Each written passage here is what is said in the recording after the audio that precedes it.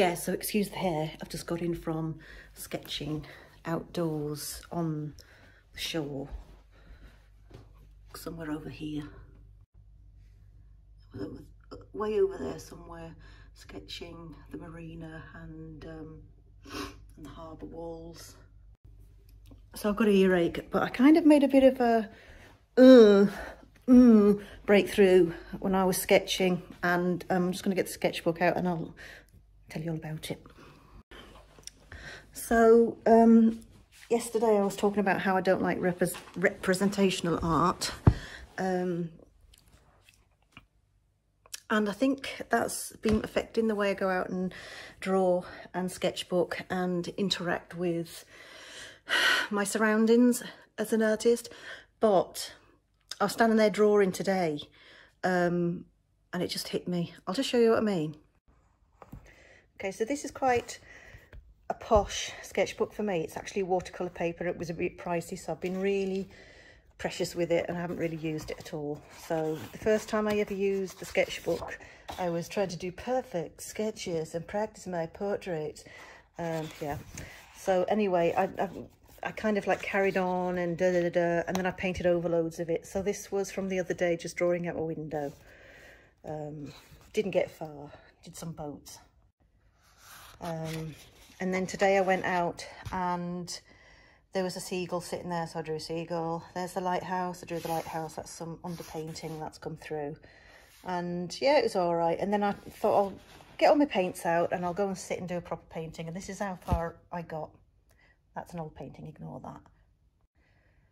So, um, I wasn't getting on with it. I mean, it was windy.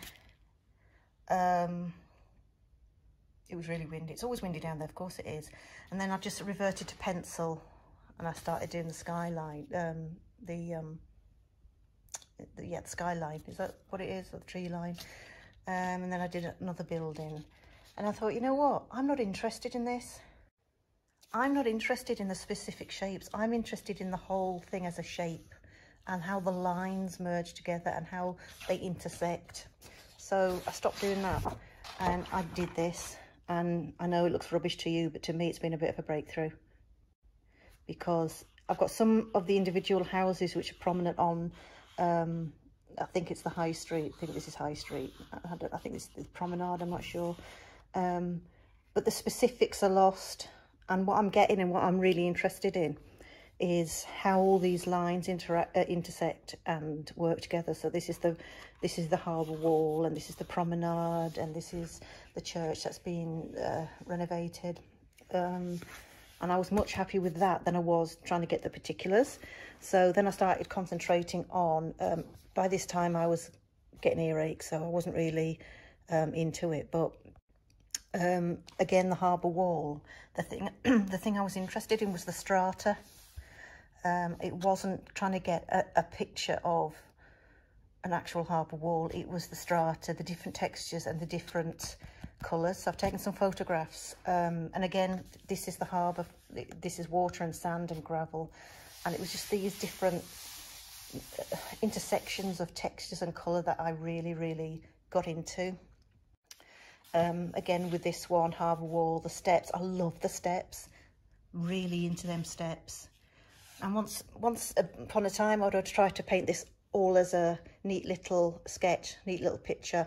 But it was kind of like a breakthrough when I realised I don't have to do that. And then I went over to the marina. And again, I love, I love the shapes of the boats. But what I'm really interested in was the masts. The masts have these wonderful, these wonderful um, lines that just stretch right into the horizon. You can see them um, if you can see the harbour, that's all you can see. It's these these upward strokes. And so I was going to try and create a whole uh, sketch of that. But I've taken a picture and I'm going to work on that in the studio now. Then I started working on some of the detailing, some of the things which um, you think you know. You think you know when you're doing a picture, but actually you might forget. But it's that was a bit of a breakthrough for me.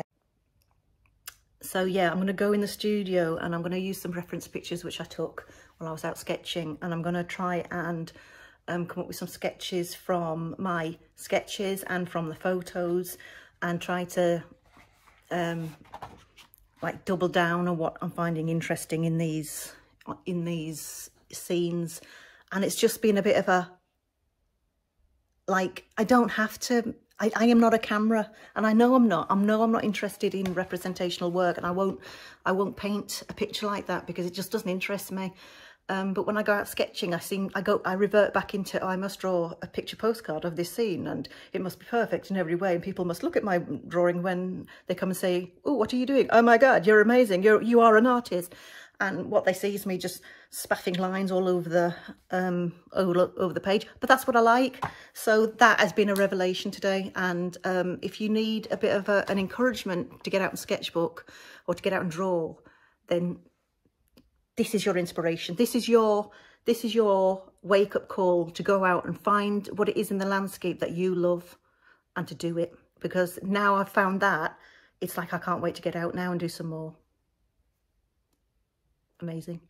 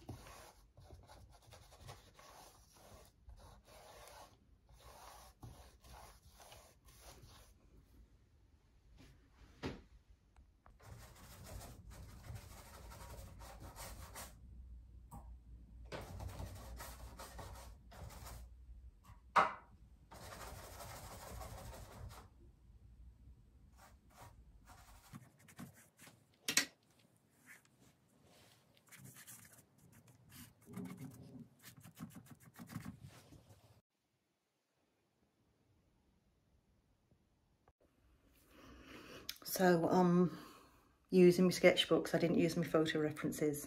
Um, um, I think I'll start using photo references now, but this is what this is what memory and some sketchbook lines. That's my first initial sketch of a sketch. That's still a bit too representational for me. Um, I'm going to keep on working on it until I find something that excites me. It's all right.